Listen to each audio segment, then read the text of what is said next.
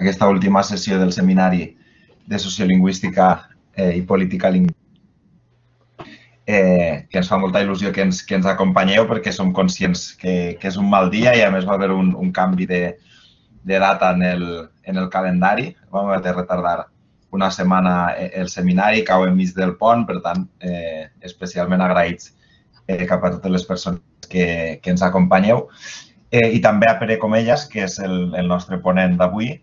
Eh, us una mica, la majoria ja el coneixeu, però bé, sempre va bé fer algunes, algunes notes biogràfiques eh, de publicacions. Ell és diplomat en Biblioteconomia i Documentació eh, i també llicenciat en Filologia Portuguesa eh, per la Universitat de Barcelona i aquí a la UB va presentar la seva tesi l'any 2005 eh, sobre representacions lingüístiques a l'educació secundària i, de fet, aquest treball sobre ideologies lingüístiques, sobretot en relació a la diversitat lingüística, és diguem, el seu camp eh, més d'expertesa i en el qual ha publicat més. És membre del CUSC, també del eh, grup d'estudi de llengües amenaçades eh, i té múltiples publicacions, eh, podríem fer llarg, sobre traducció, diversitat lingüística, etc. En destacaré tres.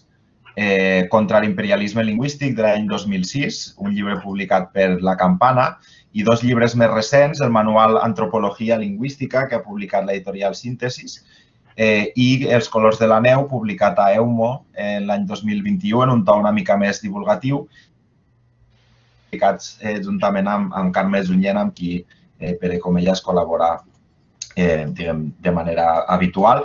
Eh, I també és molt conegut, eh, probablement alguns de vosaltres haureu llegit alguna de les seues traduccions eh, literàries, sobretot eh, de literatures africanes en llengua portuguesa. Jo, per exemple, t'he llegit eh, traduccions d'Agualusa i de, i de Mia Couto i suposo que alguns dels assistents també també han pogut llegir alguns d'aquests alguna d'aquestes traduccions o els teus llibres de eh, lingüística, etc. Per tant, eh, Pere, jo te dono la, la paraula. Pere ha dit que preferís eh, una exposició en què vosaltres pugueu interrompre, fer aportacions mentre eh, va durant l'exposició. Per tant, eh, sentiu-vos lliures també d'aixecar la mà. Eh, sabeu que teniu aquesta, aquesta opció a sota, a la dreta, eh, teniu un, una figura humana que alça la mà. Si, si aixequeu la mà, eh, podeu intervenir eh, abans de la sessió de preguntes del final. Per tant, Pere, ara sí, endavant. Moltes gràcies, Avalí. Bon dia a tothom. Moltes gràcies primer a l'Avalí i a la Roser, els coordinadors del, del seminari, un seminari que té una trajectòria impressionant i, i d'un alt prestigi, per tant em sento moltíssim honorat que, que m'acceptessin la proposta que vam fer a principi de curs i que, que a més a més, eh, és una proposta que eh, en principi a mi em, em, no, a diferència de molts altres ponents, doncs no és un camp en què sigui expert en absolut i tampoc és una recerca, com alguns han presentat, no? eh, diguem-ne, en què estan treballant, sinó més aviat un, un, un tema que em va, en aquell moment estava llegint coses d'això i em va semblar interessant de plantejar perquè, entre altres coses, és controvertit. I d'altra banda, em va alegrar molt que, que, que, que m'assignessin aquesta sessió al final perquè eh, volia o pensava que seria un tema, diguem-ne, per dir-ho així, que es podia plantejar una mica frívolament o, o des d'una perspectiva potser no tan rigorosa, de, en fi, que podia ser un divertiment. Al final, fent les diapositives, em sembla que m'ha quedat una mica més rotllo del que em temia i espero que, en tot cas, eh, no sigui tan pesat i tinguem, tampoc m'allargui molt i puguem anar a fer el vermut tranquil·lament un dia tan difícil. Per tant, el meu segon agraïment, que ja ho ha dit la Balí, és per tota la gent que teniu la immensa paciència d'un divendres després de Sant Joan estar aquí. Eh, espero que algun de vosaltres, com a mínim, tingui el portàtil a la falda en un porxo refrescant o, o davant de la platja o alguna cosa així, perquè eh, aquest és l'únic avantatge de, de fer aquestes coses en línia i realment potser no és dia no, per, per aquest tipus d'activitat així en cru.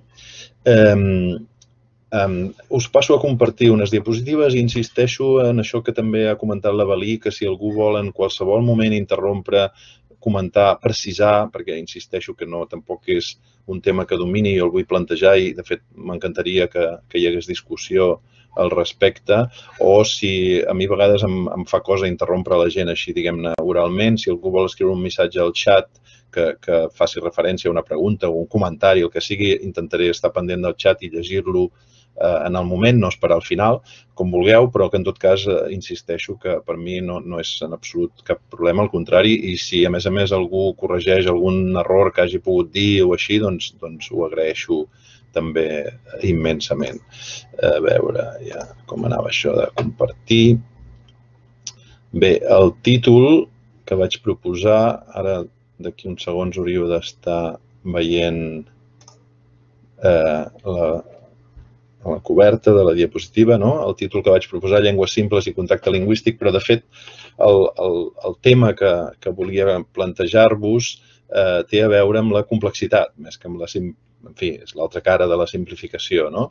Eh, és a dir, amb la, la, la pregunta, diguem, que, que em feia o que els autors que estava llegint en el moment en què vaig plantejar aquest tema era si la complexitat és homogènia en les llengües del món, no? si, la, si totes les llengües són igualment complexes.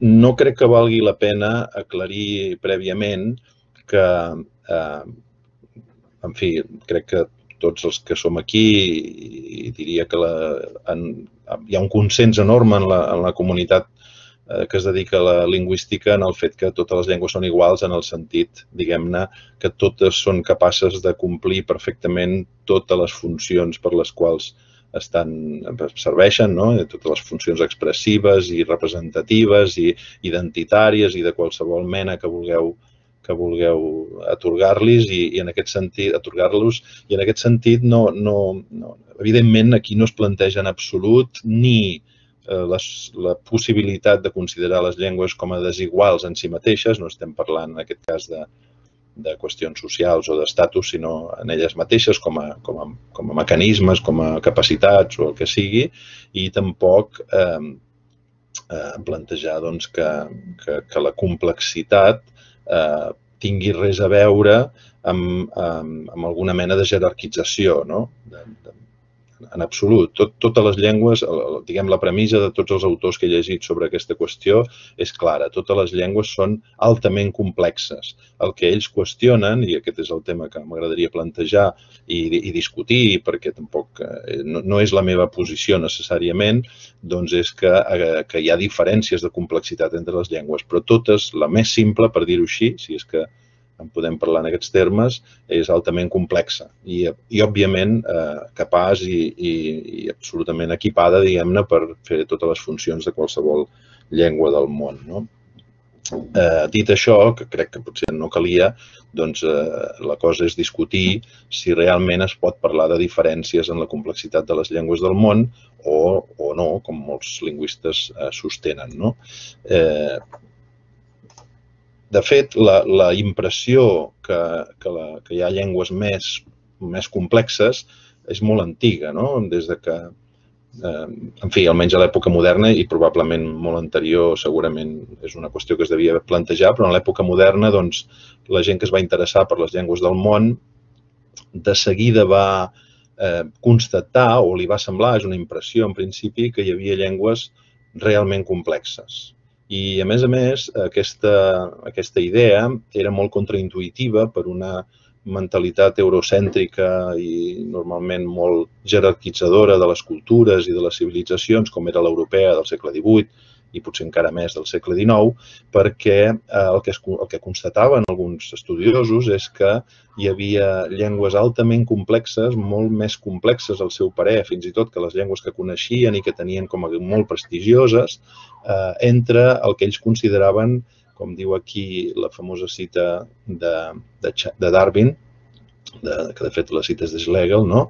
de eh, nacions bàrbares la, la cita de Schlegel doncs, eh, queda, diguem, mostra sorpresa pel fet que en el que ell considera cultures d'un baix grau de, de, de nivell, per dir-ho així, doncs, en canvi tenen en la qüestió lingüística, gramatical, una altíssima complexitat. No, no era l'expectativa que tenien els europeus pel que fa a aquestes cultures que consideraven sovint clarament inferiors. Darwin, de fet, s'apunta a aquesta, aquesta idea que, que efectivament eh, per justificar, diguem, aquesta cosa conduitiva de com pot ser que una cultura que considerem inferior, més simple, etc, tingui una llengua més complexa, doncs ve a dir, ho compara no? amb, amb aquesta famosa cita, insisteixo, amb eh, doncs aquestes 150.000 peces d'una petxina d'un tipus d'animal, amb una mm, harmoniosa simetria, etc etc i que en canvi no considerem per això, per aquesta espectacular eh, presentació, per dir-ho així, que siguin eh, superiors, diguem-ne, als animals eh, bilaterals o, en fi, no? el que ell planteja és, és això. Igualment amb les llengües, no? el fet que eh, una gran simetria i una alta complexitat eh, es presenti en una determinada llengua no les, no les situa, diu ell, per sobre d'altres llengües que jo crec que es deu estar referint als criolls, amb, eh, diu ell, eh, llengües abreviades i bastarditzades, no? o barrejades o el que sigui. Per tant, en aquest sentit, Darwin dona una explicació paral·lela a la del món natural que justificaria que per ell cultures inferiors tinguessin llengües altament complexes, fins i tot més complexes que les que tenien prestigi en aquell moment, com podia ser el llatí, etc o les, les pròpies llengües europees. Eh, de fet, aquesta idea d'una cultura considerada primitiva o inferior amb una llengua en canvi d'una alta complexitat, és tan escandalosa per mentalitats racistes, mm, perquè hem de recordar que, en certa manera, al segle XVIII eh, hi ha una jerarquia de civilitzacions, d'estadis culturals, no? però que, en canvi, al segle XIX s'imposa en els medis, en els, en els àmbits científics, més aviat una perspectiva més racista, no tant de de jerarquitzar les cultures, les civilitzacions, com si diguéssim perquè no han assolit un grau d'avenç com el europeu, per exemple, però eh, no perquè siguin en si mateixos inferiors, sinó perquè és una qüestió, diguem-ne, de creixement. No? Hi ha molta comparació amb, la, amb el creixement també eh, ontogènic, no? les persones van creixent, es van fent madures, es, fan, es van fent més complexes, etc. Doncs les civilitzacions també, però en principi tothom tindria aquest potencial i en canvi en el 19 es parla molt més de races no? i per tant d'incapacitat intrínseca genètica de determinats pobles per assolir determinats eh, estadis de civilització. I eh, Meinhof, que era un, un, un notori racista, especialista en llengües africanes, no pot concebre que unes llengües que ell considera altament sofisticades, com són les bantus, provinguin directament d'aquests pobles i, per tant, han d'haver estat, diguem-ne, exportades per una raça superior. Eh, són exemples esgarrifosos no? de, de, de, de, de quina manera els prejudicis de tota mena poden eh, eh, pressionar sobre, sobre la ciència, perquè, òbviament, aquestes persones es consideraven científiques i, i aquest és un, un advertiment que tots crec que tenim en compte. No? En fi, els prejudicis sempre sembla que se situen en el passat i, òbviament, tots tenim els nostres i, per tant, eh, relativitza una mica a vegades determinades perspectives. No? En el cas de, de Meinhof, doncs, és, és eh, escandalós perquè era una persona propera a la ideologia nazi Eh, bé, doncs de, de constatar aquesta alta complexitat i d'intentar justificar com és que cultures que es consideren inferiors tenien llengües altament complexes, doncs es passa a reconèixer que hi ha diferències en la complexitat, però que en absolut correlacionen amb cap mena de, per dir-ho així, superioritat o, o inferioritat o sofisticació cultural. No?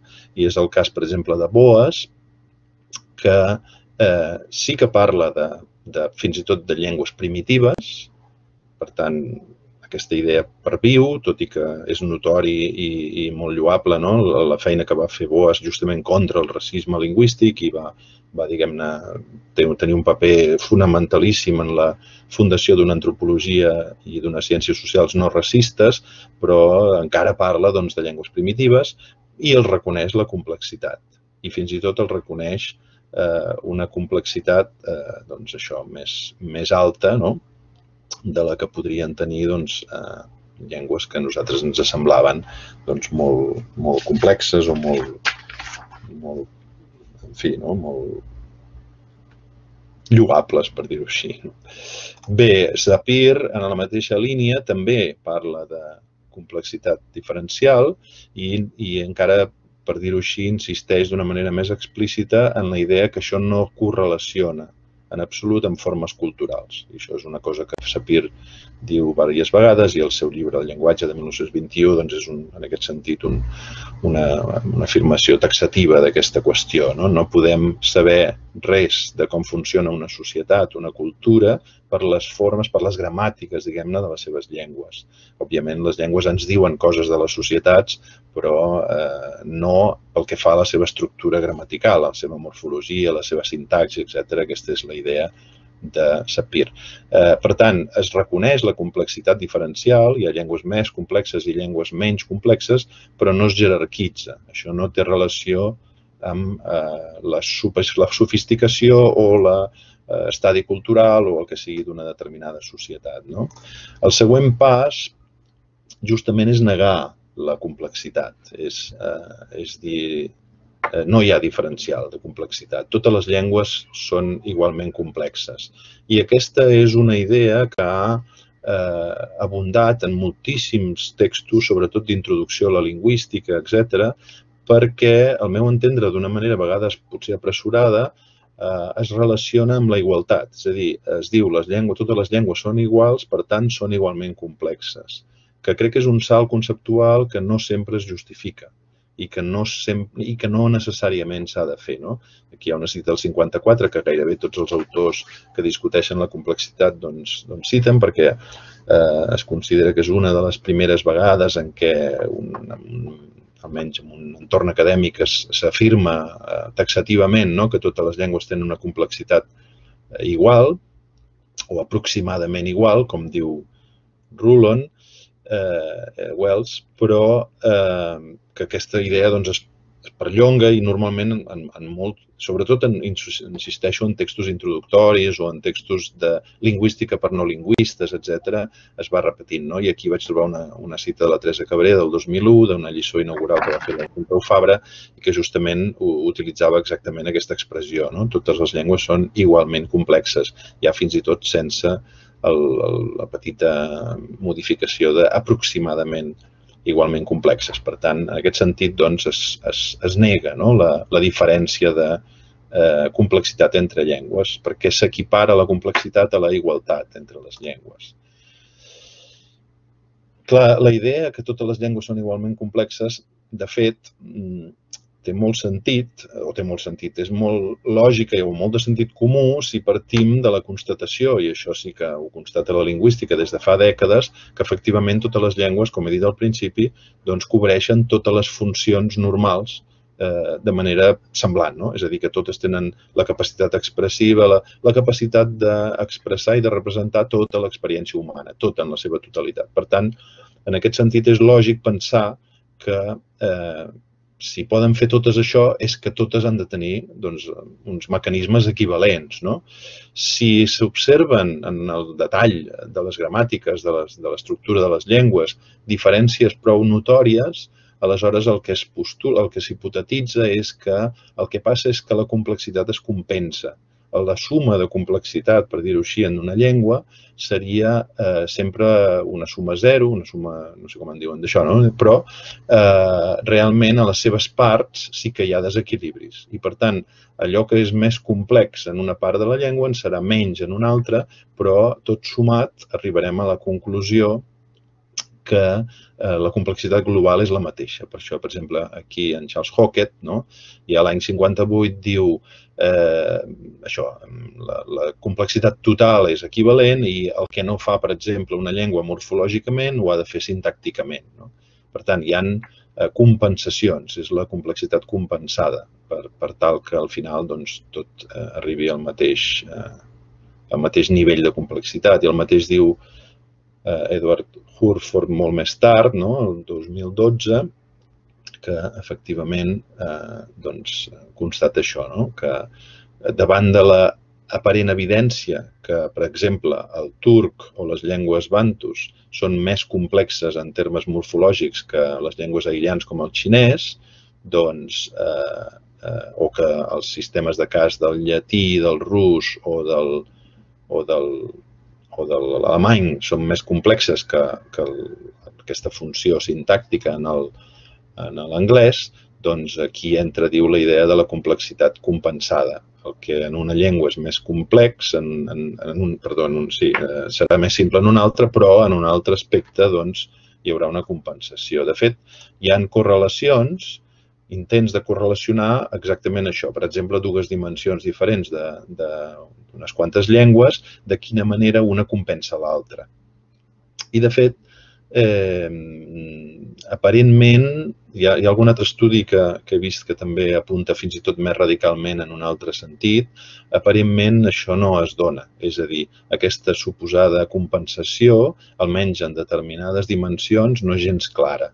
Aquí, per exemple, Nettel compara la, la mida del, de l'inventari fonològic amb la mitjana de la, de la llargària de les, de, la, de, les, de les paraules. No? I, en teoria, eh, una possibilitat compensatòria seria que com més petit és l'inventari fonològic, és a dir, com menys sons tenim a l'abast, més llargues han de ser les paraules per compensar justament aquesta poca, aquesta pobresa fonològica. No?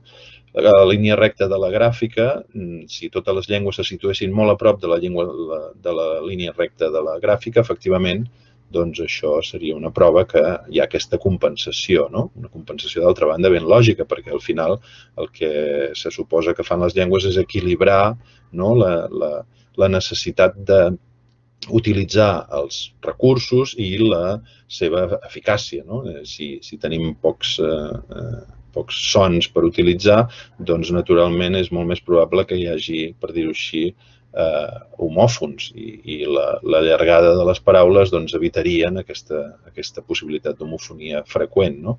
Bé, eh, efectivament hi ha llengües que s'acosten molt a la, a la línia, per tant, com menys fonemes, més eh, llargues les paraules i viceversa, com el xinès mandarí o el turc o el hausa o el kung, no? d'una llengua eh, eh, hoisan, però en canvi altres se n'allunyen molt, el georgià, el tai, per tant no està gens clar que hi hagi una relació prou, eh, prou clara, prou sòlida o una correlació, eh, en fi, suficientment potent com per dir que efectivament hi ha una compensació en aquest sentit i això són només dues dimensions no? de les llengües.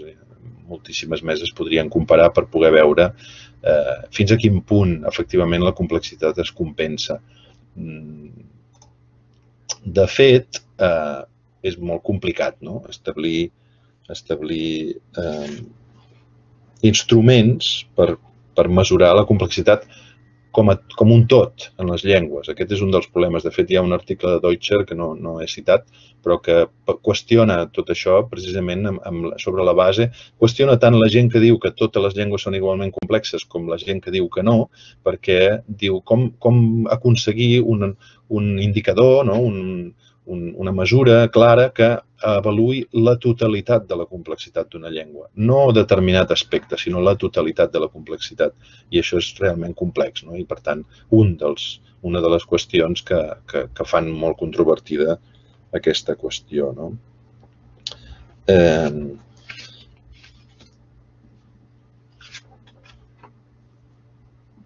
aleshores, eh, Aquí en Nettel, que era el que intentava correlacionar, en aquest cas, aquestes dues coses, l'inventari fonològic i la, i la llargada mitjana de les paraules, doncs acaba efectivament concloent que el fet que, um, que això, que hi hagi, um, deixeu-me recordar la cita, Sí, exacte, que, tot, que, que en global aquestes llengües, totes les llengües del món tinguin les mateixes potencialitats, eh, com a estructures, doncs no vol dir que hagin de tenir necessàriament la mateixa complexitat. No? I per ell, per tant, és plausible considerar que efectivament no totes són igualment complexes. Eh, un altre, un, un dels autors que més qüestiona justament aquesta, ells, ells en diuen la teoria de la equicomplexitat, em sembla, és a dir, que totes les llengües són igualment complexes, que és aquest Michael Parkbal, doncs eh, qüestiona això que ho considera un dogma de la lingüística moderna, no? Eh, eh, ell creu que la possibilitat, o sigui, que la, la constatació que efectivament totes les llengües serveixen per tot, que això ell ho accepta, diu, no? De, no, no, no, es, no es proposa qüestionar aquesta, aquest, aquesta assumpció, eh, necessàriament impliqui que hi hagi d'haver la mateixa complexitat, que és un salt conceptual que es fa habitualment, com deia, no? les, totes les llengües són iguals, per tant, són igualment complexes, que no es justifica i que, en principi, la majoria de les persones que han fet aquestes afirmacions doncs les han fet sobre aquesta base, com que constaten que serveixen per tot, han de ser igualment complexes. I ell diu, bé, no, doncs no necessàriament, no? Eh, i aquí entra la, la necessitat o la pertinença de mesurar la complexitat. No? Com, com ho fem per, per, per saber si una llengua és més complexa que una altra? Eh, de fet, eh, per exemple, un, una conferència que vaig veure fa poc en aquesta meravellosa web de, d'Abralín, de l'Associació Brasilera de Lingüistes, que des de la pandèmia va començar a fer un, un super eh, macro eh, eh, cicle de conferències de lingüistes de tot el món i que fa poc vaig descobrir-ne una que parlava sobre, sobre això, sobre la complexitat de les llengües d'un lingüista que es diu eh, Newmeyer, si no recordo malament, doncs ell diu, eh, de fet hi ha com tres maneres d'aproximar-se a mesurar la complexitat d'una llengua. No? La primera seria eh, quina és la dificultat per aprendre-la per un adult. No? Mesurem si una llengua és més o menys complexa en funció de la dificultat més o menys que té un adult per aprendre-la. Uh, un, altre, un altre lingüista, em sembla que és en McWhorter, fa broma amb això, perquè diu, si et diguessin que en tres mesos has d'aprendre una llengua i que si no la saps et mataran, eh, gairebé ningú no... Determinades llengües gairebé ningú les triaria, no? Volguem dir, encara que puguem, eh, diguem, qüestionar si és fàcil o difícil determinar si una llengua és més o menys complexa que l'altra i tal, però sí que hi ha una intuïció, com a parlants, que efectivament hi ha llengües més difícils d'aprendre que altres. Naturalment, en aquest camp, i el mateix Newmeyer constata que és molt difícil, no, pràcticament no ens serveix. Per què? Perquè com que tots tenim eh, una, una, una o diverses llengües, diguem-ne, com a llengües primeres o com a llengües apreses al llarg de la vida, quan encarem l'aprenentatge d'una nova llengua com a adults, tot aquest bagatge té un pes enorme, un, un viatge absolutament insuperable pel que fa a l'aprenentatge d'aquesta nova llengua. No? Una cosa tan tonta com que tothom sap que és més fàcil aprendre l'italià que el polonès si ets català. Ara bé, si ets txec, òbviament no. no? Per tant, aquesta idea de eh, mesurar la complexitat en funció de la dificultat d'aprenentatge per adults doncs no serveix, o almenys de moment no, no, no, no sembla gaire clara. Una altra manera és avaluar fins a quin punt els costa d'aprendre una llengua als eh, infants com a llengua inicial si hi ha diferències en el procés d'adquisició de, de la primera llengua. Si una llengua té, doncs, un, jo què sé, s'adquireix més tard o, o això, doncs seria un índex, una, un indici de complexitat major.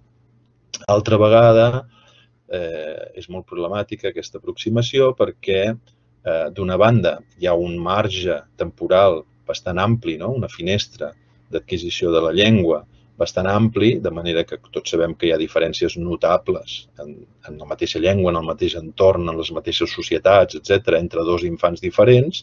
Tinc una, una amiga que, que tenia un fill d'una determinada edat i va sentir parlar la filla d'un seu amic de la mateixa edat i va córrer al metge per preguntar-li si el seu fill tenia algun dèficit perquè aquella nena ja parlava moltíssim i el seu fill pràcticament no articulava paraula i tots dos tenien, diguem, entorns eh, en tots els sentits, educatius, eh, econòmics, eh, òbviament lingüístics molt semblants. No? Per tant, això també costa. D'altra banda, s'ha constatat, eh, analitzant així, diguem, parcialment, això és el que deia un article article, si algú expert en adquisició del llenguatge ho contradiu que avisi, eh, s'ha constatat que determinat fenomen lingüístic que pot ser més tard adquirit en una determinada llengua, en una altra ho és més aviat. Per què? Perquè hi ha un factor que és la freqüència. Encara que aparentment, sé jo, eh, eh no sé, ara no se m'acudirà, no sé, l'adquisició del perfet, no?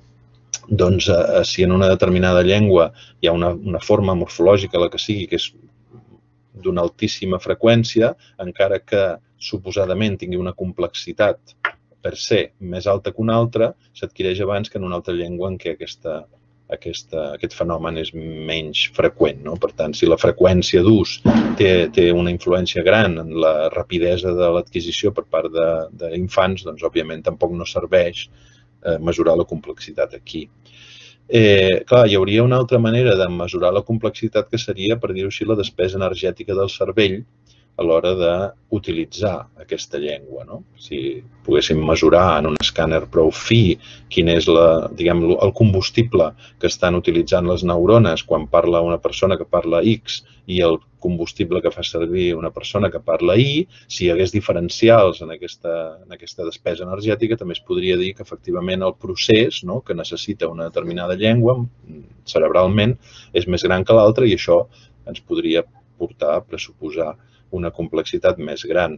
Eh, crec que de moment, que jo sàpiga, els neuròlegs no, no són capaços encara de d'afinar fins a aquest punt, no? i per tant això queda en tot cas pel futur. Què s'acaba fent al final doncs, per mesurar la complexitat? Doncs, eh, doncs intentar mesurar la complexitat, diguem-ne, de, de, la, de la cosa en si, al marge de qui l'aprèn, al marge de la despesa energètica que necessita, etc. No? I com? Doncs fonamentalment d'una manera quantitativa. Si hi ha més coses, és més complex que si n'hi ha menys. No? Una llengua amb més coses, per dir-ho així, eh, no, no estic parlant de vocabulari, eh, sinó amb més, amb més elements morfològics, sintàctics, etc., eh, doncs, eh, doncs és més complexa que una altra que en tingui menys.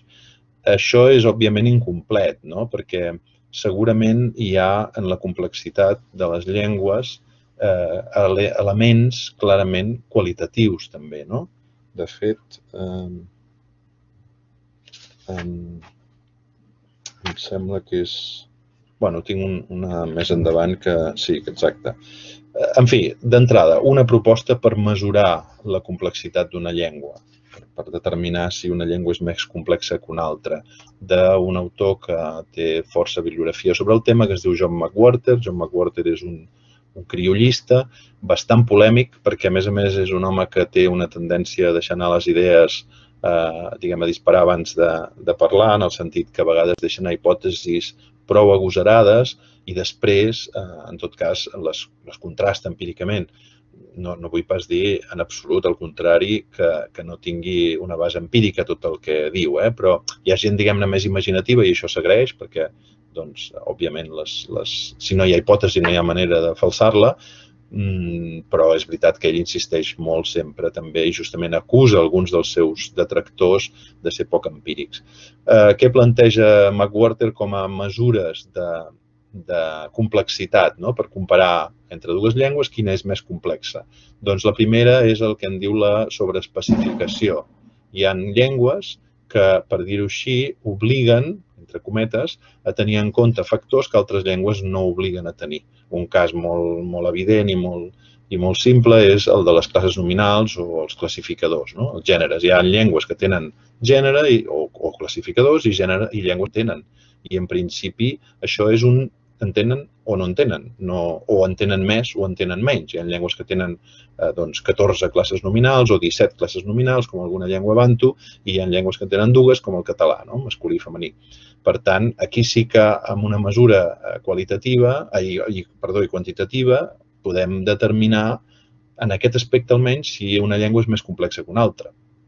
Doncs en català és més complex que l'hongarès perquè l'hongarès no té cap mena de classe nominal eh, un exemple aquí de, de català o anglès, no? que tampoc no té en aquest sentit classes nominals. Doncs, evidentment, en principi, eh, és més complex el català perquè un parlant de català ha de saber quin és el gènere de tots els nominals de la seva llengua. I, en canvi, un anglès pot prescindir completament d'això. Un altre exemple que dona McWhorter, em sembla recordar, és, em sembla que és de McWhorter o d'algun altre lingüista és, per exemple, les marques temporals i espectuals. Hi ha llengües que, són, que tenen menys distincions pel que fa a temps i aspecte en els seus sistemes verbals i llengües que en tenen més. Ell posa el Kikongo com a exemple, quatre formes de passat, per dir-ho així. Em perdonareu perquè la traducció eh, és de l'anglès i segurament no, no l'he fet prou bé, però vaja, la idea és que amb, amb Kikongo poden dir de quatre maneres diferents el passat per precisar més l'acció en el temps, mentre que en japonès sembla ser que només n'hi hauria una i en català doncs, en tindríem en aquest cas, si, si no ho he traduït molt malament, doncs tres, no? tres expressions diferents. Per tant, aquí eh, també una qüestió quantitativa. Hi ha més possibilitats en una llengua que una altra, per tant, seria més complexa. Eh, perdó, altres exemples que dona McWhorter o això, la distinció possessió alienable i inalienable. Hi ha moltes llengües no, que tenen dos, diguem, dos, dos paquets, dos conjunts de possessius, segons la possessió sigui alienable, com pot ser el meu cotxe, o la inalienable, que és ma mare. No? Doncs moltes llengües tenen dos conjunts i moltes en tenen una. Els que en tenen un semblarien més simples en aquest punt que els que en tenen dos, o en el nombre en el sistema pronominal. No? Hi ha llengües que tenen un sistema pronominal que no fa distinció de nombre, o que només fa distinció de nombre en determinades persones. I altres, en canvi, com, com el nostre, que, doncs, eh, en fa diversos, o per exemple sistemes pronominals, prou conegut això, que tenen la distinció inclusiu-exclusiu i altres no, no? Tenen dues primeres persones del plural o fins i tot tres per eh, indicar doncs, si el nosaltres és tu i jo o el nosaltres és jo i un altre però tu no. Coses d'aquest tipus, no? Els pronoms obviatius, eh, aquells pronoms que distingeixen, eviten la, l'ambigüitat d'unes terceres persones. Quan parlem d'ell i ell, no? doncs dues, dues diferents segons, eh, segons sigui eh, aquesta tercera persona a qui es refereixi. No? O la morfologia del mode. Hi ha llengües que no tenen una, una morfologia específica dels seus verbs per marcar el, el mode irrealis, no? subjuntiu, i altres sí. En fi, tot de diferents aspectes en què sembla fàcil determinar que si és possible que una llengua que funciona perfectament, com totes les llengües naturals humanes, no té això, si una altra ho té, té, per dir-ho així, una sobreespecificació, un, un grau de complexitat més alt del que és necessari per funcionar adequadament en una llengua humana. I això ho considera, doncs, eh, més complexitat. El segon criteri que utilitza és l'elaboració estructural, diu ell. No? Per exemple, doncs, processos o fenòmens morfofonèmics. I posa un exemple del galès, que és força espectacular, perquè eh, els possessius en galès modifiquen l'arrel del posseït. I aquí tenim en galès doncs, el, el seu gat, el meu gat, el seu gat, o sigui, el seu gat d'ells o elles, un possessor plural, o masculí o femení, o el meu gat en primera persona, que modifica la, la paraula gat, pròpiament dita, i per tant, eh, això en principi eh, augmenta la complexitat del galès respecte del maori, que no hi ha cap eh, mena d'alteració de la paraula corresponent a, a gat, no? la del, en aquest cas de la cosa posseïda. Eh, un alt, altres exemples, doncs això, els inventaris fonèmics. No? Hi ha, com sabeu, enormes diferències en els inventaris de fonemes de les diferents llengües del món. No? I també no només en el sentit quantitatiu, sinó qualitatiu. Hi ha eh, sons que es consideren, per dir-ho col·loquialment, més rars, més, més estranys, menys habituals o més difícils d'executar, de, de, no?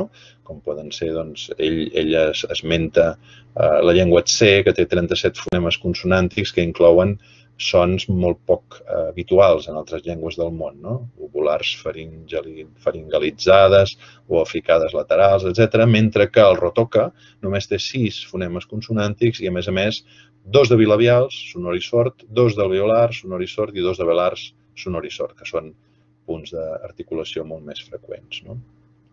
Eh, aquí és interessant perquè un altre autor que veurem ara, el Tradkill, eh, considera, i això amb algun altre també ho he llegit, considera que, de fet, la complexitat en els inventaris fonemàtics és als extrems. Són llengües més complexes, al seu parer, tant les que tenen molts fonemes com les que en tenen molt pocs. Perquè el fet de tenir molt pocs fonemes també implica una dificultat per part, de, per part del, del, de l'oïdor, no? per part del destinatari. En canvi, diguem, hi hauria un, un, una, un d'això òptim. Digues, Núria.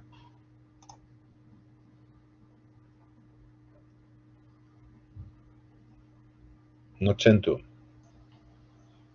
Núria, hauries d'activar el... El micro. El micro.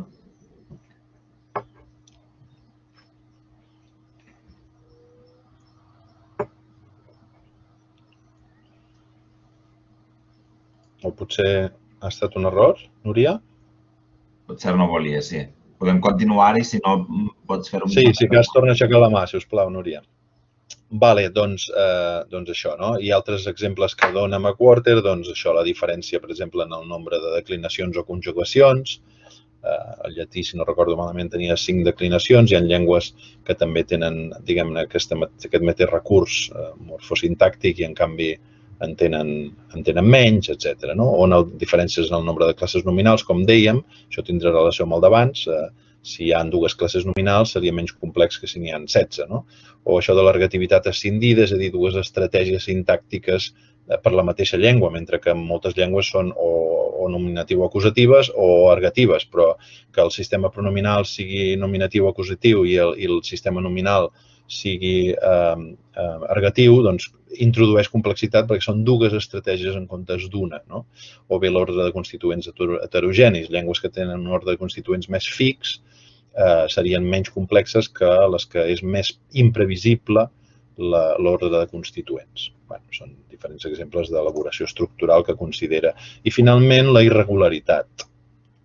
La irregularitat introdueix al parer de McWhorter complexitat eh, per exemple, doncs, diferents morfemes per una mateixa marca. No? El plural de l'àrab utilitza, com es pot veure aquí, diferents morfemes. plural de, de, de, de llapis o de ploma doncs, és bastant diferent del plural de casa o del plural de gos. No? Són eh, diferents sistemes, mentre que en basc doncs, hi ha un morfema de plural, pa, pa, pa, pa, pa sistemàticament afegit eh, al singular sense, sense cap excepció, bueno, en, aquest, en aquest conjunt, eh? no sé si això és un exemple. I, i en català també tenim, diguem-ne, un, un morfema de plural bastant, bastant eh, més regular que el de l'àrab, però potser no tant com el basc, si és que el basc manté aquest patró d'aquest petit corpus d'aquí, no? que això potser algú de vosaltres ho sap i ho pot aclarir.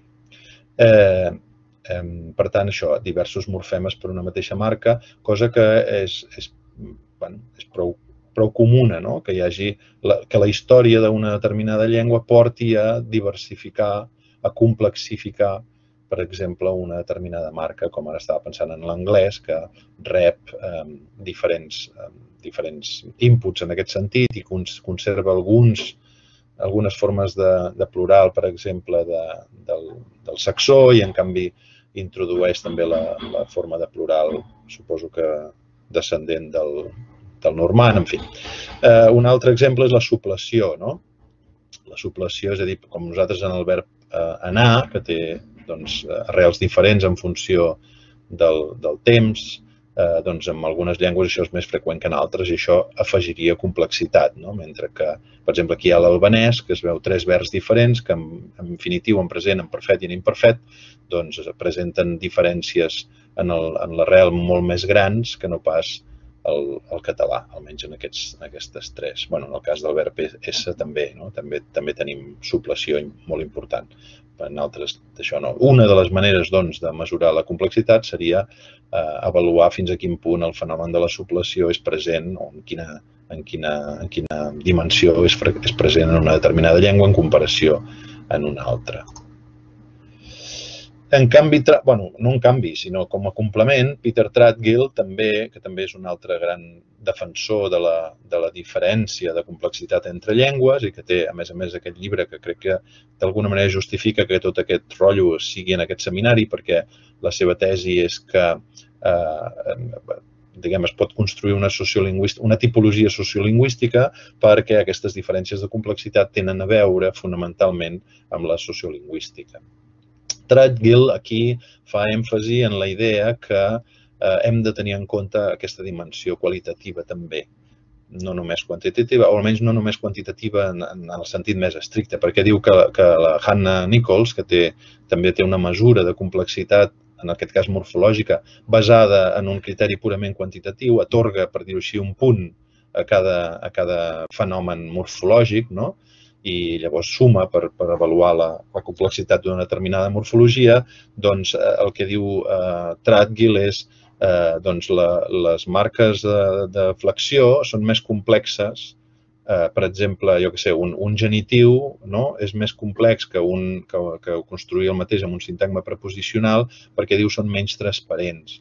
Per tant, aquí entraria un criteri, que és el criteri de la transparència, que potser és més aviat qualitatiu. Tradgill té la seva pròpia eh, diguem-ne, mesura de la complexitat, dona quatre, quatre elements que poden eh, contribuir a avaluar la complexitat d'una llengua eh, com més més. No? La primer és eh, l'opacitat, justament. Si un, un, una determinada llengua és més opaca que una altra, doncs és més complexa. Posa dos exemples de la mateixa família, el finès i l'estonià, eh, en què la marca de cas és més transparent, és per dir-ho així, més aglutinant, no? encara és, és molt fàcil o més fàcil de distingir, de separar el morfema arrel i el morfema de cas en finès que no pas en estonià, que queda més, eh, més fos, més, més eh, flexionat. No? Per tant, aquí hi ha més complexitat en l'estonià perquè és en el sistema de, de marca de cas més opaca.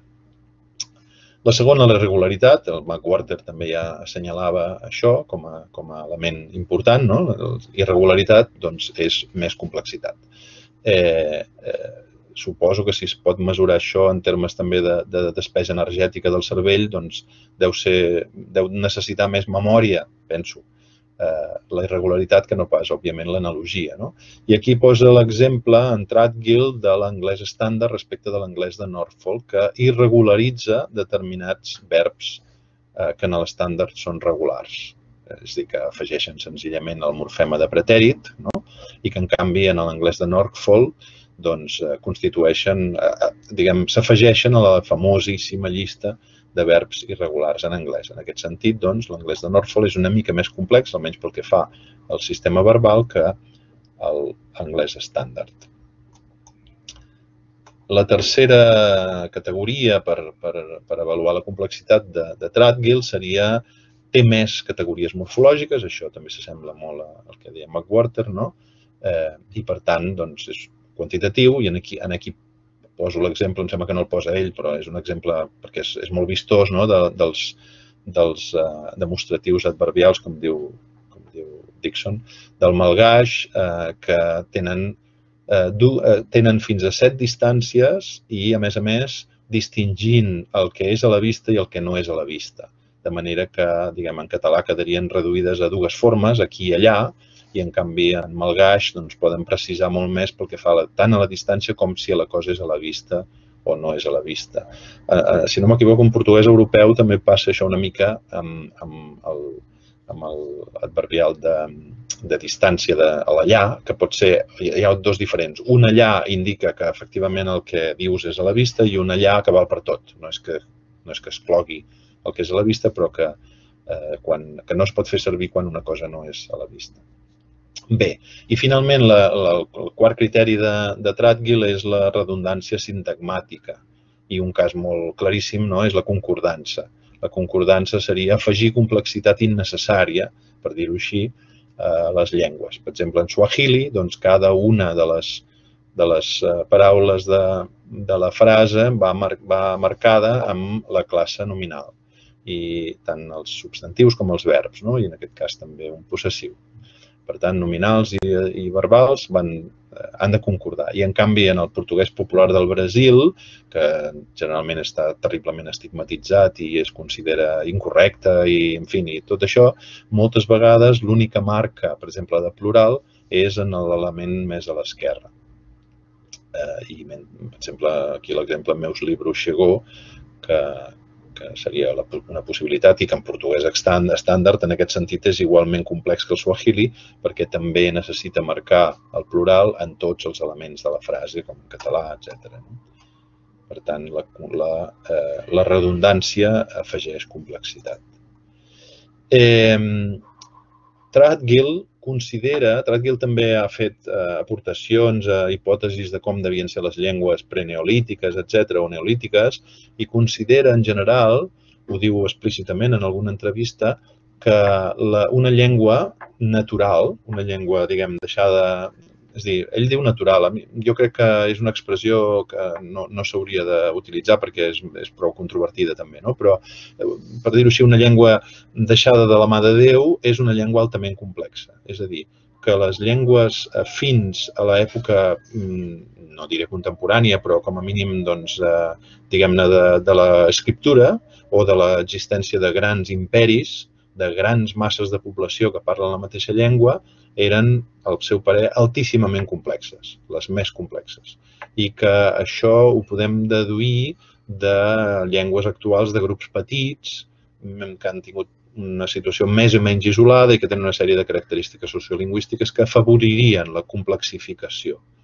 Per tant, en aquest sentit, ell, primera, no, no està d'acord amb la famosa hipòtesi del uniformitarisme, o no sé com s'ha de dir en català, que, que ve de la biologia i que diu podem entendre com era el passat veient com funciona el present, no? és a dir, si un determinat fenomen es dona ara, doncs hem de suposar, la podem projectar cap al passat. Ell diu que no, perquè la situació sociolingüística de l'antiguitat i de la preantiguitat, sobretot la prehistòria, és tan diferent de l'actual que no, no, no podem fer aquesta hipòtesi uniformitarista. I no només això, sinó que considera que una de les urgències, al marge de les consideracions ètiques de respecte de la diversitat i de l'empoderament de, de, de la comunitat i tot el que vulgueu, que per mi són més importants, és urgent documentar llengües petites perquè segurament no tornarem a veure les possibilitats que ens ofereixen en termes gramaticals, en termes estructurals, etc. És a dir, si volem entendre fins a quin punt el llenguatge humà pot ser complex, al seu entendre, hem de córrer a documentar totes les llengües petites perquè cada una de les llengües que mor és molt probablement un exemplar d'aquesta complexitat que era típica en el nostre passat eh, preescriptura i que mm, doncs, cada vegada en serà menys. No? Eh, per tant, aquí ja hi ha una pista d'explicar per què hi ha diferents complexitats en les diferents llengües i una que de seguida se'ls acut a molts lingüistes és la mida de la comunitat lingüística la mida, la quantitat de gent, la quantitat de gent que parla una determinada varietat. No? I diu aquí Nettel que efectivament doncs, hi ha una correlació entre la, la mida de la població i diferents tipus de complexitat en les llengües humanes.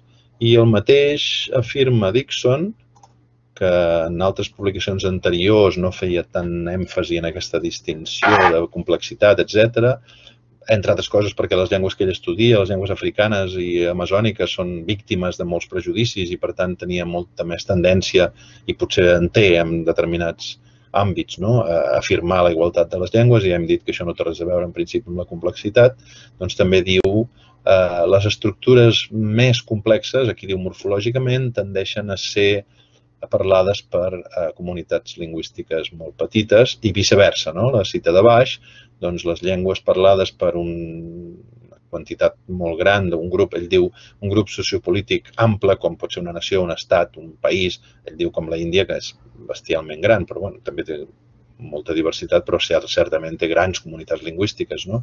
tendeix a tenir una, una complexitat gramatical global menor.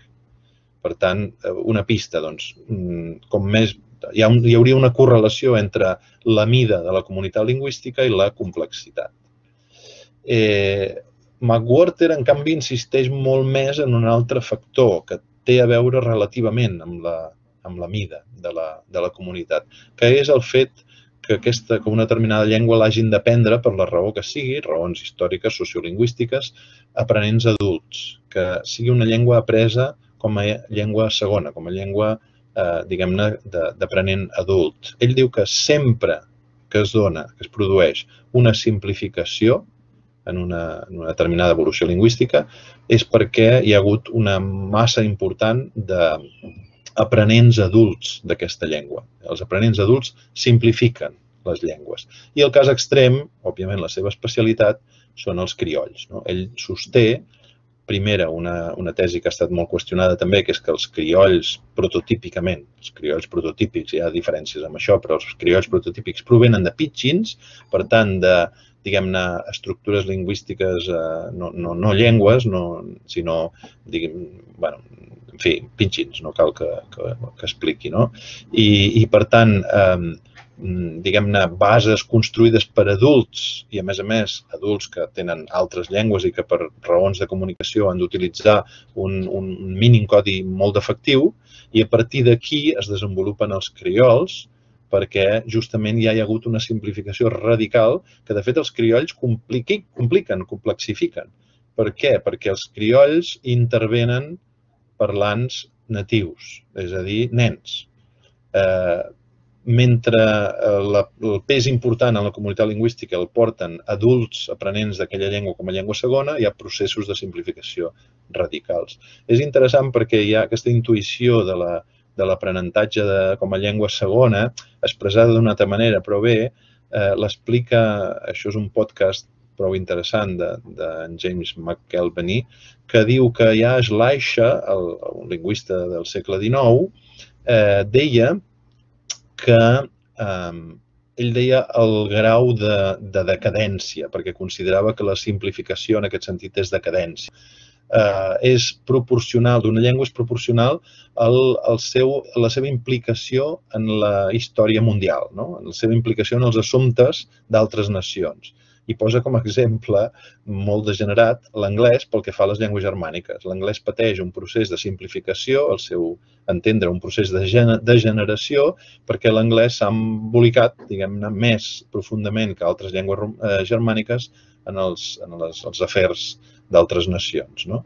Això seria una manera de dir, entenc jo, que això que hi ha molts parlants d'anglès, ja des de fa molt, que són parlants de llengua segona o que són parlants eh, que han après aquesta llengua com a, com a adults. I això és, és molt antic, no? Eh, aprenents adults, aquí hi ha l'intent d'aquests dos autors de correlacionar justament aquestes dues dimensions. No? En el cas, ells es fixen en, en la complexitat morfològica, eh, llengües que tenen marca de cas i que no en tenen. I el primer gràfic és dicotòmic, aquí hi ha llengües que tenen marca de cas i aquí hi ha la dimensió de la proporció de parlants de llengua segona en el conjunt de la, de la comunitat. No? Efectivament, en les primeres posicions, és a dir, quan hi ha molt pocs parlant de llengua segona, hi ha llengües amb cas i llengua sense. Aquí no sembla que hi hagi cap gaire... bueno, sí, en teoria n'hi ha més amb cas que sense, però vaja, perquè la, la corba està més alta, no? però, però també n'hi ha que no en tenen. En fi, és un factor que per si sol no n'hi hauria prou per determinar si, si podem parlar de, de correlació de complexitat. Però a mesura que puja la proporció de llengües, de parlants de llengua segona, de llengües adults, aprenents adults, va augmentant la quantitat de llengües que, que no tenen marca de cas. O sigui que en teoria són morfològicament més simples que no pas les que sí que en tenen.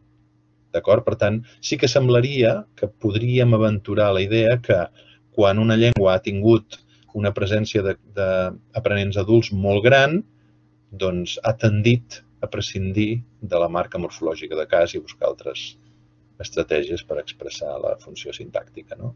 Aquí el mateix, però en comptes de l'escala de, de l'esquerra és tenir cas o no tenir-ne, és el nombre de casos la diversitat morfològica per marcar el cas. I la corba fa el mateix, el mateix procediment. No? És a dir, tendeixen a haver-hi més casos en les llengües que no tenen mm, proporció de llengua d'aprenents com a llengua segona. Bé, serien indicis de correlació entre el fet que una llengua hagi tingut o tingui una comunitat de parlants important que l'ha pres com a llengua segona, adults i llengües que no. En fi, Tradgill ho fa una mica més complet i més complex, tot plegat només és una mica aproximat tot això, no?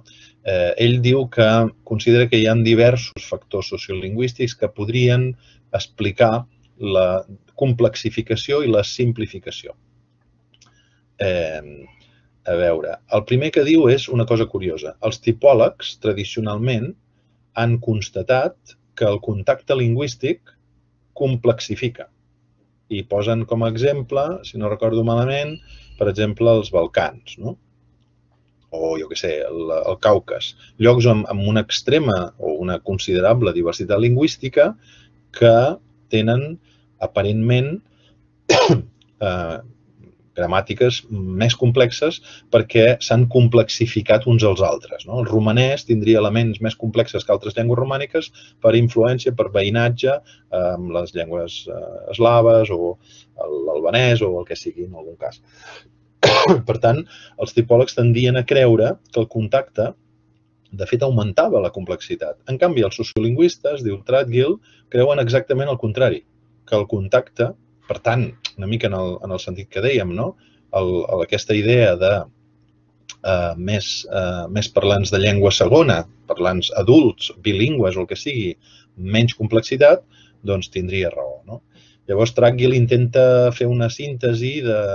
És a dir, accepta aquestes, aquests dos fenòmens i diu això és perquè no és el contacte el que condiciona la simplificació d'una llengua, sinó quin tipus de contacte. És essencial eh, analitzar la situació sociolingüística en què es produeix aquest contacte per determinar si serà complexificador o simplificador.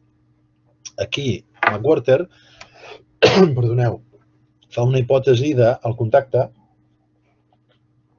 i els seus efectes amb, amb exemples i marca vuit tipologies de resultat de complexificació o simplificació pel que fa al contacte en tres categories de simplificació. No hi ha simplificació en aquest 1, 2, 3. Exemples, només hi ha influència lèxica, com entre l'alemany i el finès, hi ha influència lèxica i sintàctica, com el romanès amb altres llengües de l'àrea balcànica, o hi ha una influència més gran però no simplificació en casos com la medialengua o casos com àrees lingüístiques molt antigues, d'estabilitat de, de, molt gran, no? àrees en què efectivament l'intercanvi ha estat molt fluid durant molt de temps, però que ha estat, per dir-ho així, àrees eh, estables. Al mig, alguna simplificació a tots els nivells, doncs eh, serien exemples com l'anglès, el persa, el malai, el mandarí, o el, el nou àrab o l'African American Vernacular English, o sigui, l'afroamericà, o l'anglès, eh, ai, el portuguès popular del Brasil. Aquests exemples, anglès, persa, malai, mandarí, i ara, potser també ara no recordo, són els que agafa ell en un llibre en què pretén eh, justificar la seva idea que efectivament hi ha llengües més complexes que altres i són justament exemples de llengües imperials, llengües que s'han eh, imposat o s'han sí, s'han imposat a grans contingents de població que no les tenia com a llengües primeres. I com a conseqüència d'això, cadascuna d'elles ha simplificat considerables elements gramaticals eh, respecte de les seves eh, iguals en termes genètics, és a dir, l'anglès respecte a les llengües romàniques, el persa respecte de les eh, iranianes, etc. No? el malai respecte de les eh, malaio-polinèsies, tot això. I el xinès, doncs, també les sinotibetanes. I justament eh, arriba a dir que l'anglès, em sembla que en diu un eh, semicrioll, perquè la simplificació que, que pateix eh, des de l'anglès antic a l'anglès contemporani eh, és tan considerable, el seu parer, que òbviament no es pot parlar en absolut de criolls, però sobretot perquè, a més a més, en la seva gènesi no té res a veure amb, amb el crioll prototípic, però sí que és prou gran com per arribar a anomenar-la semicrioll. El cas 5, africans, el francès reunionès es diu un tipus de crioll i l'africans també moltes vegades s'ha anomenat crioll o semicrioll o l'anglès de Singapur amb aquesta mateixa simplificació parcial o el Chava Swahili en el cas de eh, una influència més gran, una simplificació més gran a tots els nivells eh, no només lèxic i sintàctic. I finalment, els casos extrems justament serien els criolls prototípics. El nou seria el cas més extrem. Eh, ell eh, és un estudiós del Saramaca, com la meva companya de, de gel, la, la Mònica Barrieres, per cert, que va fer la tesi sobre el Saramaca, una descripció del Saramaca i no està gens d'acord amb el John McWhorter. Eh, ell diu que el Saramaca és les llengües que ell coneix més simples. I, de fet, ho diu d'una manera una mica grullera però molt, molt, molt eh, il·lustrativa, diu una gramàtica del Saramaca, una descripció exhaustiva del Saramaca, és molt més prima que una descripció del polonès, no sé, per dir alguna cosa. No? Per tant, ell considera que no hi ha tanta irregularitat, no hi ha tanta opacitat, etc etc. De fet, diu que es nota al seu parer que una llengua ve d'un pidgin perquè reuneix tres condicions. Eh, no té eh, compostos opacs, ell posa l'exemple d'understand, no? Però podríem posar en català l'exemple d'auspici o, o compostos que són tan antics que ja s'han tornat opacs que el parlant no distingeix de cap manera les seves parts o que el significat d'aquest compost no té res a veure amb, diguem, les seves parts ajuntades. Eh, una altra és que no té cap mena d'afix, no té afixació de cap tipus, ni prefixos, ni sufixos, ni infixos, res d'això, és dir, totalment analítica. I la tercera eh, condició que posa, eh, ara no me'n recordo, no em ve el cap, però, en fi, ell sosté que aquestes tres condicions, que molts lingüistes els hi han qüestionat dient això és arbitrari, podries haver agafat aquesta com una altra, són eh, prototípiques de mm, llengües que venen de criolls, perdó, de pidgins. Un pidgin no té res d'això, no?, per naturalesa. Bé, i el, el 7 i el 8 doncs, serien eh, exemples semblants d'extrema simplificació, però no a tots els nivells. No? Per tant, el contacte lingüístic sí que, al parer de McWhorter i de Tradgill, té un pes important en la simplificació, però no necessàriament. És a dir, eh, depèn del tipus de contacte. I de què depèn? Doncs de la situació lingüística en què aquest contacte es dona. Eh, aquí, en Tradgill, al final acaba intentant reduir els factors determinants de la simplificació, és molt poc determinista en el sentit que diu mm, són factors necessaris però no suficients. Podem trobar alguns exemples, en què, contraexemples, en què aquests factors no han provocat una, una simplificació clara. Però, en canvi, sí que en els casos que hem trobat en què considerem que hi ha hagut una simplificació clara, es donen aquests, exemples, aquests eh, factors, que són contacte molt alt, estabilitat social, eh, eh, mida de la, de la comunitat i finalment un quart que és densitat de les xarxes socials. I per dir-ho així, una llengua parlada per una comunitat molt petita, amb molta estabilitat eh, temporal, és a dir, que fa molt de temps que aquella comunitat està cohesionada, que, que existeix, que, que s'autoidentifica, que parla, diguem, la mateixa varietat. Eh, I, a més a més, que té una això sol passar, sol ser paral·lel, unes, unes xarxes socials molt estretes, un contacte molt freqüent entre els seus membres, té molts i molts i molts, molts de possibilitats de ser altament complexa i de complexificar-se encara més.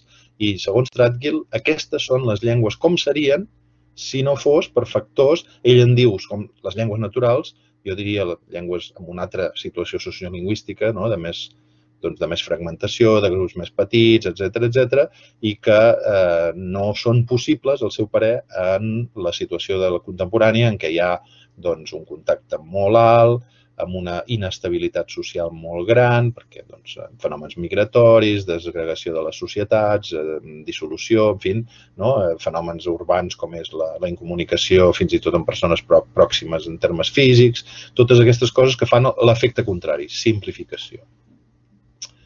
Eh, acabo, perquè ja estic passant-me de l'hora i no volia de cap de les maneres.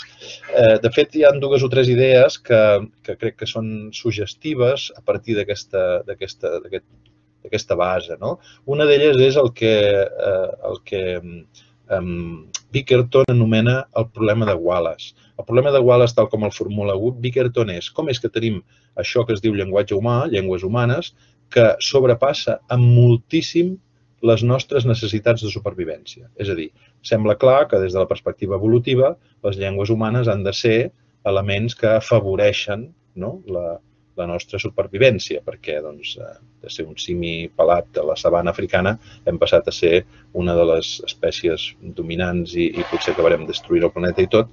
Per tant, aquí hi ha hagut un factor que probablement siguin les, la, la capacitat del llenguatge que ens ha convertit en una, en una espècie altament mm, capacitada per sobreviure. Però, al seu parer, el que necessitaven per aconseguir això és molt menys que el que té la, el, les llengües humanes. Per tant, tot aquest escreix, com s'explica? Bé, David Gill abunda en aquesta idea. David Gill estudia una varietat de malai que ell considera extremament simple, una de les més simples del món, llengües més simples del món que ell coneix, i ve a dir el mateix tot això és escreix. Tot, tota aquesta complexitat que les llengües, totes, totes, eh, fins i tot el crioll més senzill, eh, presenten, no és necessari per, eh, per aconseguir la cooperació humana necessària, etc per sobreviure i per prosperar com a espècie. De fet, eh, té un article de David Gill que es titula alguna cosa així com quanta llengua fa falta per construir una barca i no sé què més. Volguem dir, com, que, fins a quin punt necessitem tot el, tot el que el, les llengües humanes ens, ens ofereix només per mm, construir societats complexes, tecnologia, etc. Al seu parer, tot això és innecessari. No? I les, el problema de Wallace, segons el, el soluciona o proposa solucionar-lo Bickerton, és mm, pel fet que el, el primer desencadenant que sí que té a veure amb l'evolució, que és el fet que un homínid carronyer, com érem nosaltres fa un parell de milions d'anys, pel que sembla, no? ha de canviar dràsticament de nínxol eh, per qüestions ecològiques i eh, entra en un nínxol en què ha de tenir una altíssima competència amb altres eh, animals també carronyers i, i que tenen, diguem-ne, qualitats físiques molt superiors a ell i eh, ho supleix amb, la, eh, la, amb el sorgiment d'una capacitat que probablement, diguem, en, el seu, en la seva base tenien tots els homínids en aquell moment, que es converteix, gràcies a aquesta pressió del nínxol de, que, que ha de conquerir, diguem-ne, en la capacitat, a la llarga, en la capacitat del llenguatge. No?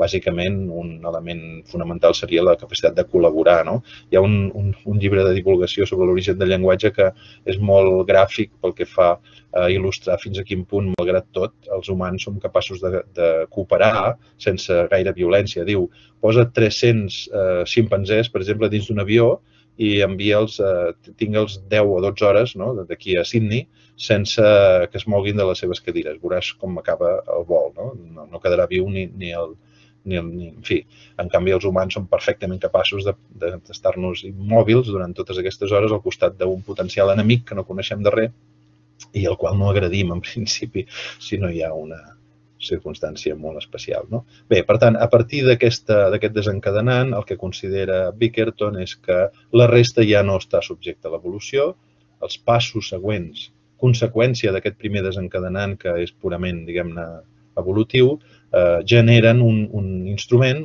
una eina com la nostra, les llengües humanes, doncs, que permet aquesta impressionant eh, complexitat, aquest impressionant esqueix. Eh, de fet, em va sobtar molt aquest article d'en Cèdric, eh, l'Avelina i el Pedro Tiago, que són companys d'aquí de la UB, que estudia, són biolingüistes i per tant molt allunyats de la sociolingüística i que normalment, doncs, com sabeu, hi ha una certa a vegades rivalitat per models i, i, i maneres d'entendre les llengües i tal, que diuen que és interessant observar aquesta complexitat en llengües emergents, i amb això es refereixen, per exemple, doncs, a aquests criolls que s'han trobat de llengües de signes, per exemple, no? llengua de signes nicaragüenca o la llengua de signes dels beduïns de, de, no recordo com es diu, que, diguem, podrien ser, per dir-ho així, estadis de eh, llengües sense l'escreix que la cultura, per dir-ho així, que la convivència perllongada, que el contacte constant va afegint a les llengües. I, per tant, interessants per intentar delimitar què és realment, si és que aquest projecte encara es pot considerar pertinent, aquesta eh, gramàtica universal, no? o digueu-li com vulgueu, que aquesta, cadascú tindrà la seva perspectiva més o menys innatista, però eh, en tot cas, allò que no depèn, aquest, es creix que, les, que nosaltres com a humans culturals anem afegint a les llengües, no? a, les, a les cultures. Bé, són perspectives que crec que són suggerents i no ja paro aquí. Moltes gràcies. Molt bé, moltes gràcies, Pere. Jo crec que ha sigut una exposició mm, amb molt, molt, molt de contingut i, i molt d'interès i que dona, dona per a pensar. No sé si la gent que, que ens heu anat seguint, que al final déu nhi perquè sent un dia que era potencialment un pont festiu, etc, som 30 persones que hem seguit, que hem seguit la sessió, per tant, déu nhi No sé si algú té alguna, alguna pregunta, algun comentari.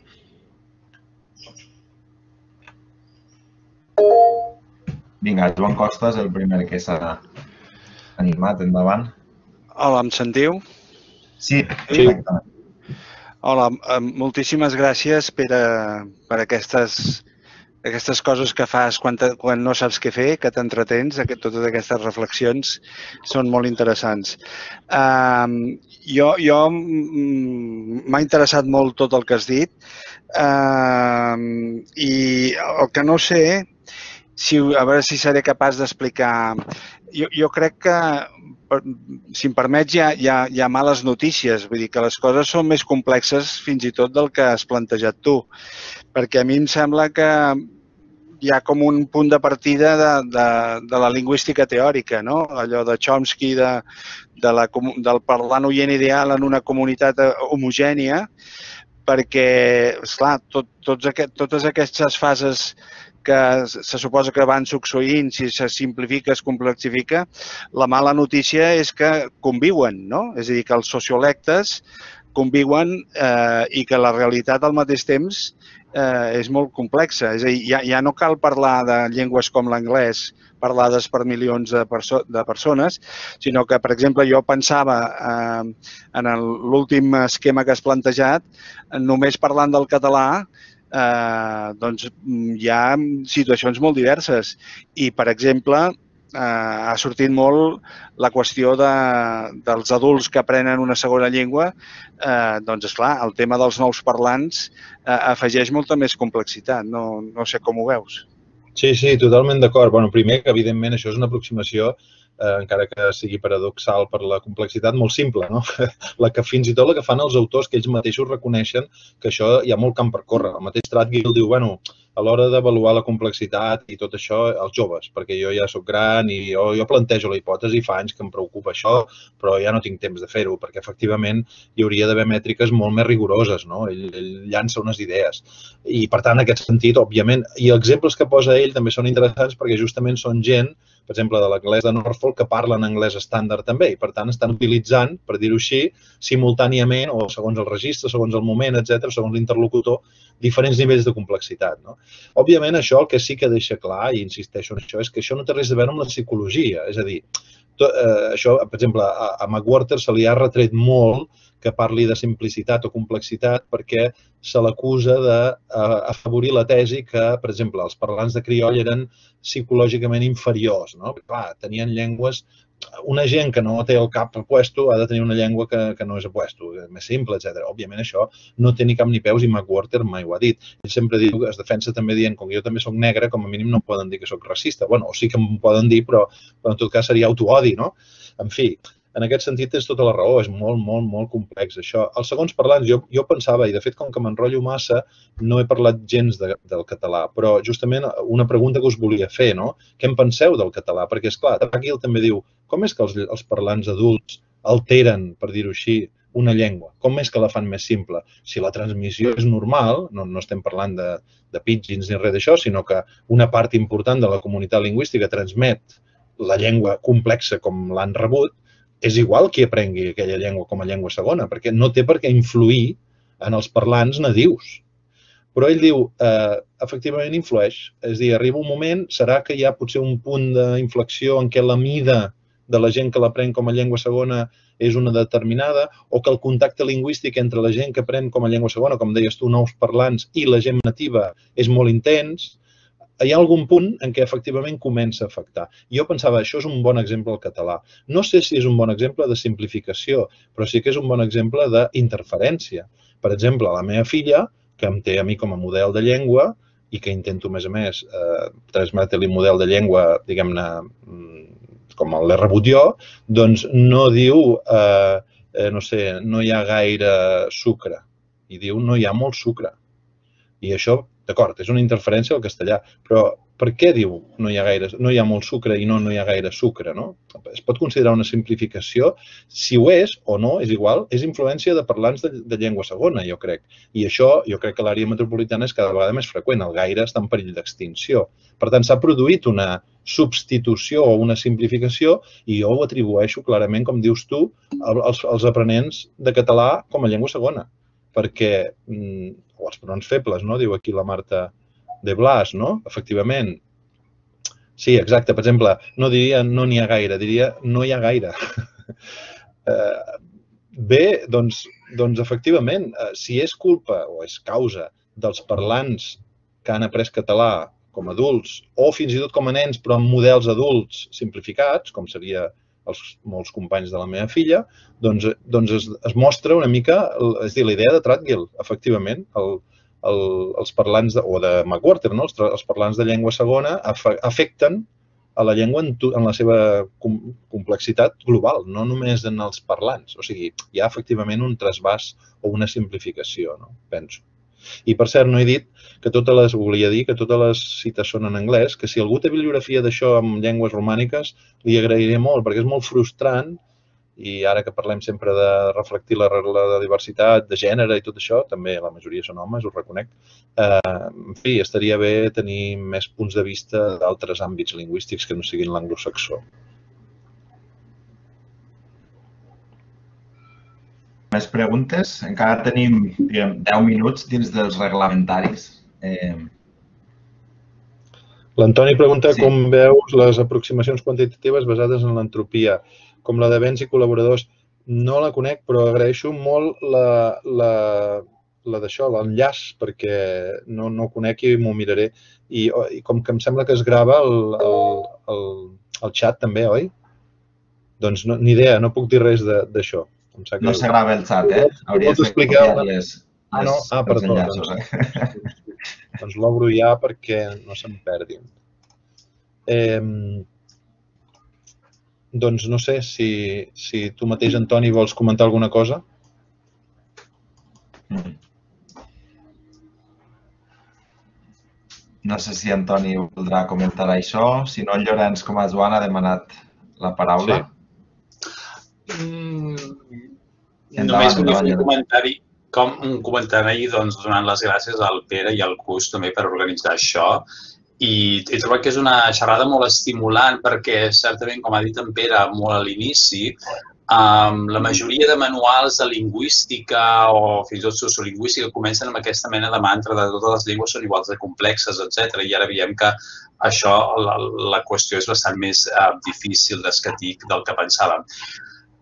Volia demanar-te, Pere, mm, si um, has pensat o en les teves lectures s'ha parlat també dels temes de les escriptures, dels sistemes d'escriptura, perquè aquest és una mica un altre mantra d'aquests, no? de l'escriptura és una cosa cultural, no té a veure gaire amb la facultat del llenguatge, etc. Però des de la meva perspectiva l'escriptura té molt a veure amb el llenguatge en si mateix. Jo no ho veig una cosa tan separada de l'oralitat, per exemple, on és evident que, per exemple, llengües com el xinès o el japonès eh, diguem-ne, l'estructura fonètica de la llengua i la capacitat dels aprenents de primeres llengües a través de l'escriptura és molt, va molt relacionada, no? perquè hi ha molts homòfons en aquestes llengües que només les pots distingir visualment en l'escriptura, per exemple. Llavors volia comentar, volia saber si tu has plantejat, com ho veus tu, tot aquest tema dels de sistemes d'escriptura, si són, en aquest cas, és que és evident que n'hi ha alguns que són molt més complexos que els altres. Eh, jo crec que pràcticament ningú dubtaria això. En canvi, amb els temes més de, diguem la llengua des d'un punt de vista oral i cognitiu, eh, és al revés. Sembla que tot hagi de ser igual de complex. Sí, no, no, no m'ho he plejat gaire, però eh, entenc... Eh, de fet, l'altre dia el Xavier Vila feia una xerrada per uns estudiants d'Alemanya i, i comentava sobre, diguem, també evolució sociolingüística de les societats i comentava que ell creia, com tu deies, Llorenç, que, que efectivament l'escriptura, a part de ser un punt d'inflexió en molts sentits, no? eh, tenia un impacte evident en les formes lingüístiques, per tant, en aquest sentit també en la complexitat lingüística. No? I, Eh, clar, és veritat que és òbviament un artefacte cultural molt més netament cultural que no pas la, les llengües naturals, no? Això està clar. Però, eh, sens dubte, jo també crec que hi deu haver alguna, algun efecte de retroacció, no? El, és a dir, eh, el fet que la, la, una societat lletrada generalitzada com és ara, no? en el nostre cas, és dir, que la majoria, la immensa majoria de la població està alfabetitzada i utilitza l'escriptura i la lectura diàriament, ha d'impactar considerablement en les formes lingüístiques també.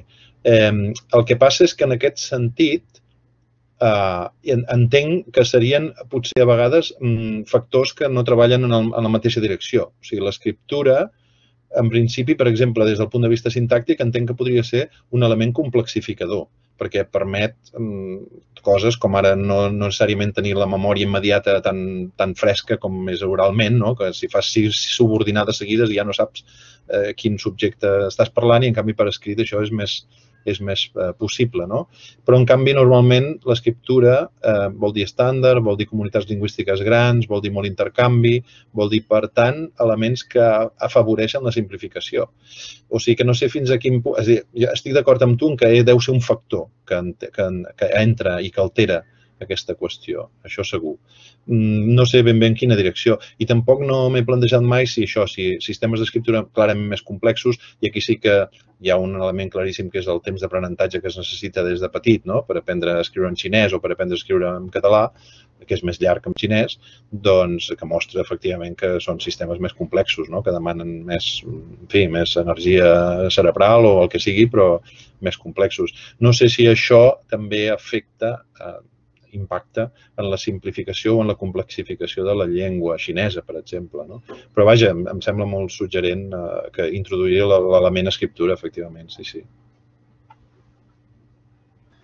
Molt bé, moltes gràcies. Eh, no sé si tenim alguna pregunta, una última pregunta de reflexió. Encara tenim cinc minuts per a plantejar aquesta, aquesta qüestió. A mi m'has fet pensar molt, mentre algú se pensa si intervé, m'has fet pensar molt en l'última fase de la, de la xerrada, en la qüestió aquesta dels, dels nous parlants del català, que ja, ja ho ha anat comentant, no? que moltes vegades eh, tenim unes visions mm, molt filològiques de la, de la qüestió no? i se, diguem, se lamenta molt la pèrdua de certes formes lingüístiques o se presenta, per exemple, el valencià o certes varietats del valencià com a molt més conservadores i molt més riques des d'un punt de vista lèxic, no? estructural, etc etc. Eh, I perdem de vista la contrapart, no? que moltes vegades aquest procés de simplificació també és conseqüència d'un èxit eh, sociolingüístic i de política lingüística, és a dir, eh, hi ha incorporació de nous parlants, cosa que no passa en altres eh, varietats que se poden mantenir més pures, però que també se van diguem, residualitzant des d'un punt de vista eh, demolingüístic no? de, de la població. Per tant, és, és un balanç que és, que és interessant i, i m'has fet pensar molt mentre, mentre comentaves això. Sí, sí, de fet, l'impacte no, d'un contacte lingüístic tan intens com pot ser el, el, el del català i el castellà, evidentment ha de ser molt gran. No sé en quina direcció, simplificadora, o, però ha de ser molt, molt gran i ho és i, i això crec que deu ser inevitable. D'altra banda, ara m'has fet pensar, Belín, una cosa que, que em voldria subratllar. No?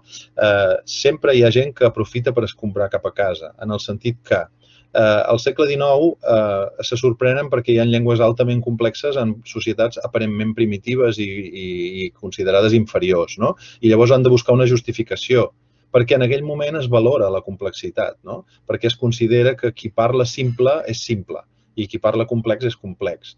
Què passa ara? No és difícil trobar algun autor que insinua que, de fet, el que és ideal és una llengua simple, perquè és més eficient, perquè és més fàcil d'aprendre, etc. I, per tant, continuarien estigmatitzant les llengües dels grups petits, etc., perquè són massa complexes. No?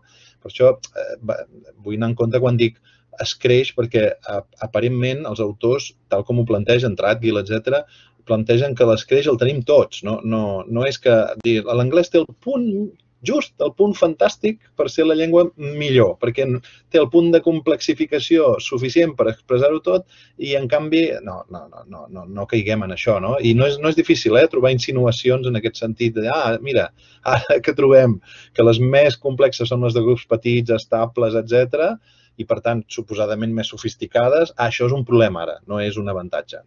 Bé, això ja és valoració que no, no hi hauríem d'entrar, no?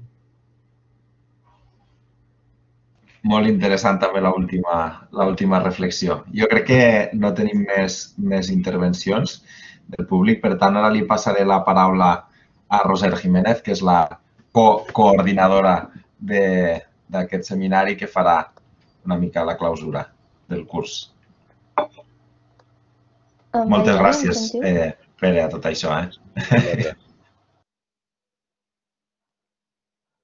Te Hola, sentim, te sentim, Roser, sí. Ah, val. Sí, és que estic tenint problemes de connexió, com no l'últim dia. Eh, moltes gràcies, Pere, moltes gràcies. Aprofito per agrair a tots els ponents que hem tingut aquest curs. Uh, ha sigut, jo crec, una molt bona cluent en el sentit que ha estat una de les, de les xerrades, totes ho han sigut, eh? però, però molt estimulant, amb molt de contingut. Jo crec que donaria, és un tema que no acabaríem mai de, de parlar-ne tampoc. Um, cosa que ja va sent com, com una tendència eh, en, aquest, en aquest curs. Um, però bé, estic molt contenta, estem molt contents des del curs per haver tingut un, un seminari, doncs això, eh, durant tot el curs que, que ha estat molt seguit, que, que ha tingut molt d'èxit i esperem retrobar-nos a tots al següent, al següent curs voldria exposar el Xavier Vila, que era el, és el director del curs i que no, no ens ha pogut acompanyar en aquesta cluenda. Malauradament tenia una altra reunió justament en el mateix moment i no ha pogut acompanyar-nos, però doncs res, només voldríem fer aquesta cluenda eh, una mica doncs això, esperem retrobar-nos al següent curs. Estigueu tots atents i atentes a les xarxes socials perquè anirem publicant eh, doncs el nou programa a mesura que, que l'anem confeccionant. Um, i, I molt contents i molt bon estiu a tothom.